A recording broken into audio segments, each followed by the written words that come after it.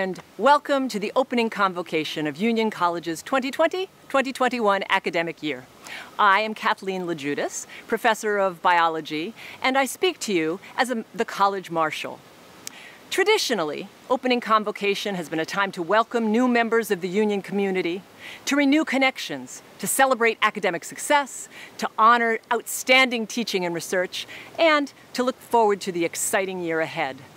This year, we're doing all of these things, just not together in Memorial Chapel. First, welcome to the class of 2024 and to all new employees. You join Union as we begin a new and exciting chapter that will redefine what makes us special. You probably chose Union in large part because it's a close community of learners that nurtures every member with a personal touch. Social distancing notwithstanding, let me assure you that we, all of us at Union, are here for you. The past five months have proven that though we can't always be together in the same spaces, we'll find ways to connect. Convocation also recognizes the students who've made the Dean's List during the previous academic year.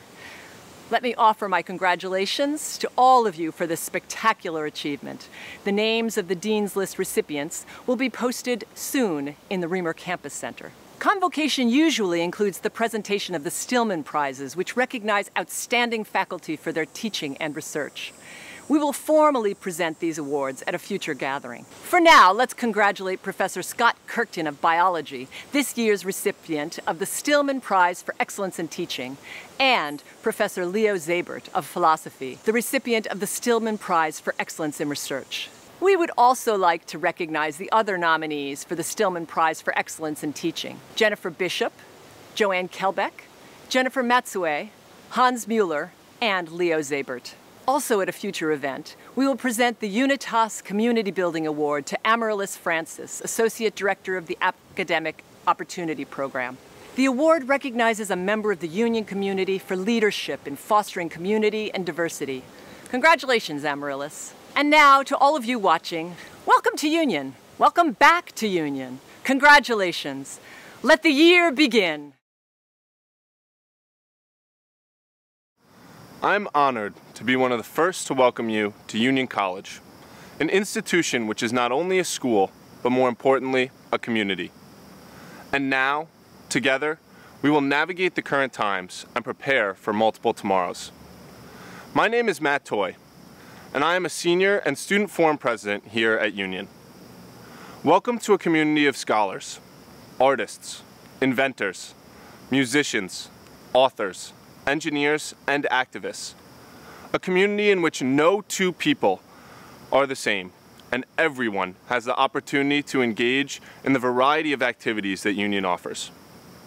I encourage you to take chances, be bold, and lead with wisdom, empathy, and courage.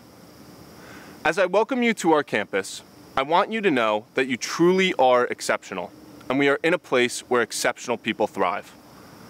Let us make your college experience one filled with laughter, joy, and of course, academics. I understand that this may not be your ideal start, but I am confident that we will complete this year just as we began, together. Thank you, congratulations, and welcome home, class of 2024.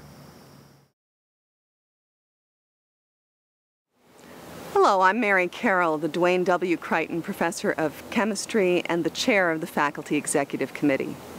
On behalf of the faculty, I'm delighted to welcome the entire union community to the 2020-2021 academic year and to extend special greetings to our newest members, the students of the class of 2024 and those students joining us as transfer students from other institutions and faculty and staff who are joining us for the first time this fall. Welcome. This is a difficult time. Society as a whole is dealing with a global pandemic, systemic racism and inequality, and global climate change. But I want to assure you that you are joining a vibrant intellectual community that's dedicated to addressing big challenges like this. The faculty with whom you work are true teacher scholars, advancing knowledge in their fields and dedicated to teaching rigorous courses. This will be a little bit different fall term. Some of us will be teaching in person, some of us remotely. Students will be taking classes, some in person and some remotely, in places far and near. We look forward to interacting with you, to challenging you, to working with you inside and outside the classroom as we keep each other safe during this time. Again, welcome to Union. Let's have a great year.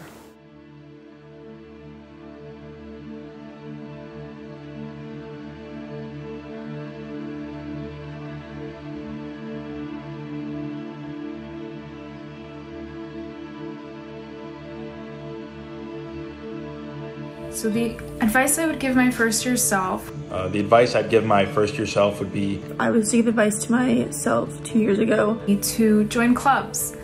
I definitely should have joined a club my first year, but now I am in so many and I'm so happy to be a part of them. Just wanted to give you guys some first year advice and just say make sure you mingle.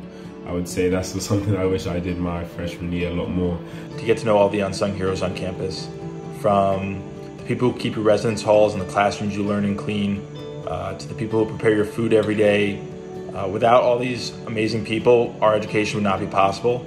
I would say grow as a person, like don't be afraid to try new things, like the opportunities of this school are limitless, like is don't be afraid to pursue all of your different areas of interest early on freshman fall. To just get involved on campus um, with anything, doesn't matter what it is. My advice to my first year self would be to share my dreams and goals with those around me, like students, teammates, coaches, professors, because more likely than not, they can hold me accountable along the way and have some amazing opportunities and advice. Not hesitate in reaching out to my professors for help and to utilize office hours as much as possible. My advice to my first year self would be to not be afraid to ask for help, whether that be in regards to your sport, academics, or your life in general. Don't be afraid to ask professors for help and to take advantage of Union's resources earlier. My advice to my first year self is to utilize office hours and do not wait to the last minute to get help. Would be to utilize the Career Center as soon as possible. Grades matter, but take time and enjoy yourself. One piece of advice I give to myself as a first year would be to get involved in many different clubs and activities. Don't be afraid to be yourself. Try to meet as many people as you can. Say hi to everyone. Just be a friendly face around campus. Broaden your horizon when picking classes. Don't pick a class solely based off your major. Pick a class that genuinely interests you where you otherwise wouldn't imagine yourself taking. To not get too caught up in doing too many extracurriculars. Try to take time to enjoy your time at Union, especially your first year when you have more free time. Do not be afraid of trying new things. Union offers so many opportunities, so take advantage of them while you can. Be to have more patience, uh, just because things like friends and adjusting to the education just come in a matter of time. Live every moment because it goes so fast. Like, it's so hard to believe that I'm already a senior and only have one year left at Union, so make the most of every moment.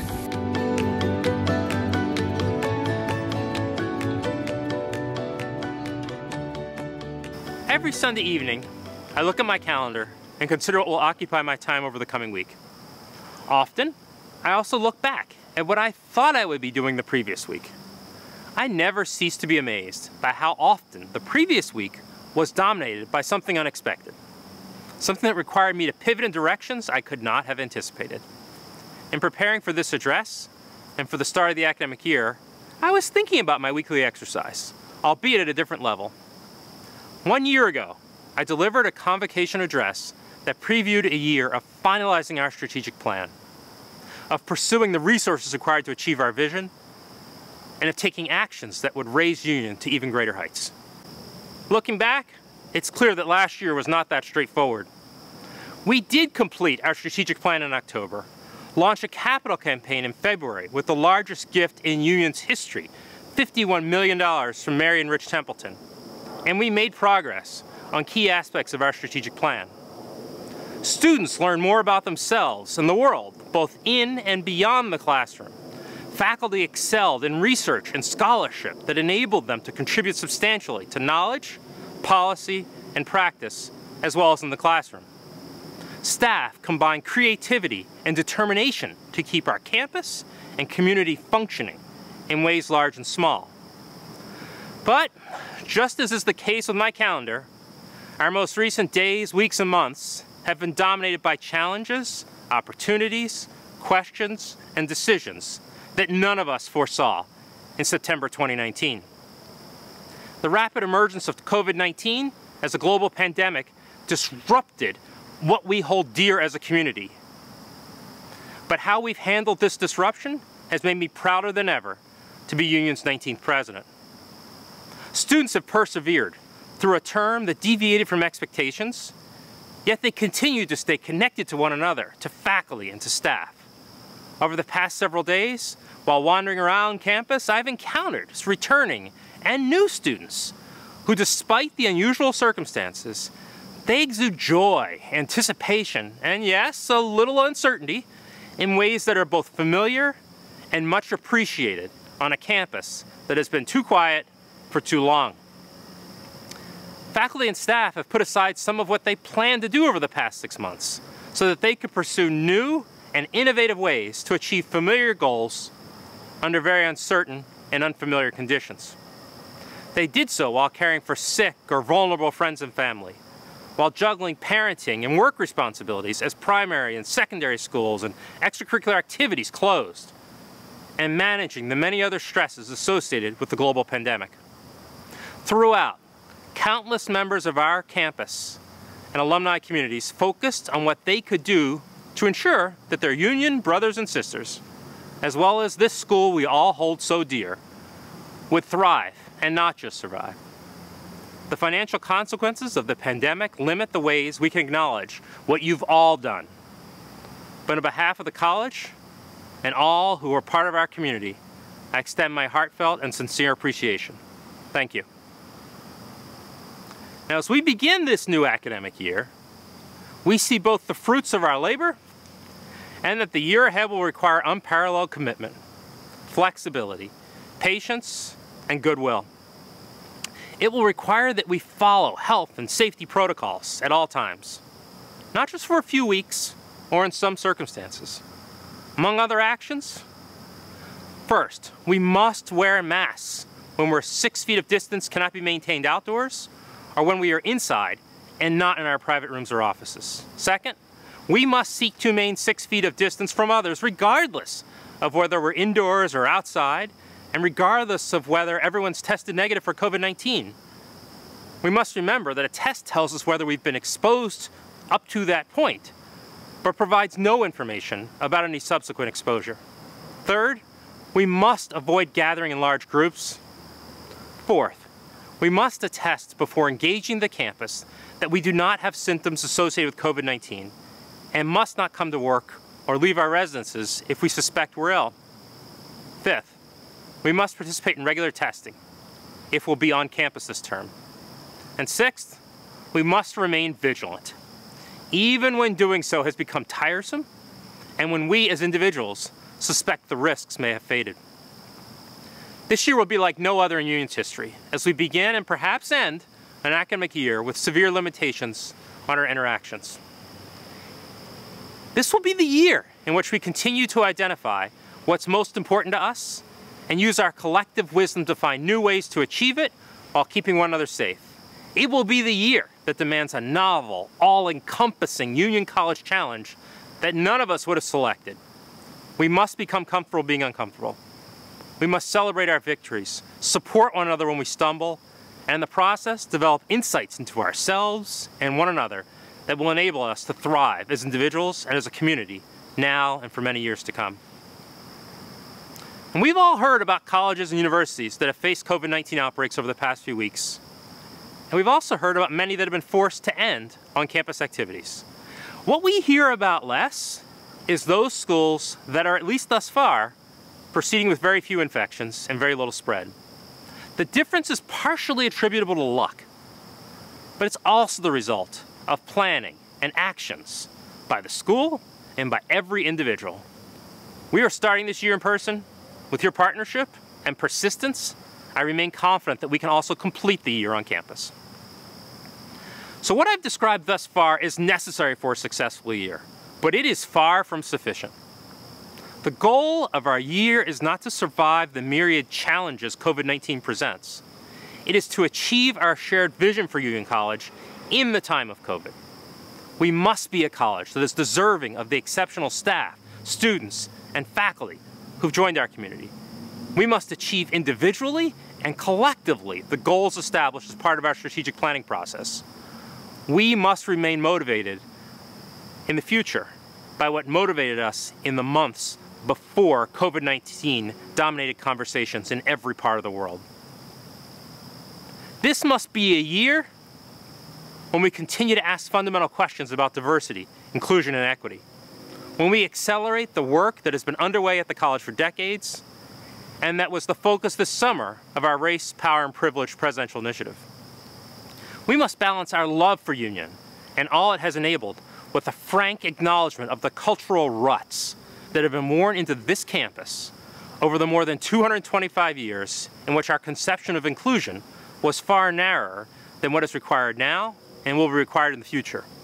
We must understand how these ruts and what is considered a typical union experience enable some to have relatively smooth and assured paths through union, while others persevere despite a daily struggle for acceptance of their identities, their experiences, their perspectives, and their centrality in union's story.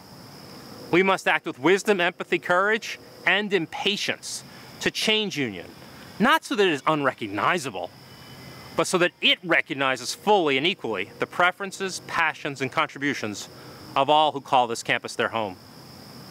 This must be the year when we deliver on the potential enabled by the Templeton's transformative gift to establish Union College as the place for undergraduates who want the depth to be an accomplished engineer and the breadth to be a leader.